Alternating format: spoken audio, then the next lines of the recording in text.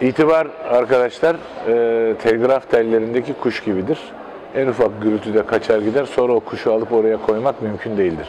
O yüzden çok büyük itina göstermek lazım ve de onu itinayla ona itinayla bakmak lazım, beslemek lazım. Çünkü itibar eşittir başarı, eşittir ticari e, kabiliyet ve başarı demektir.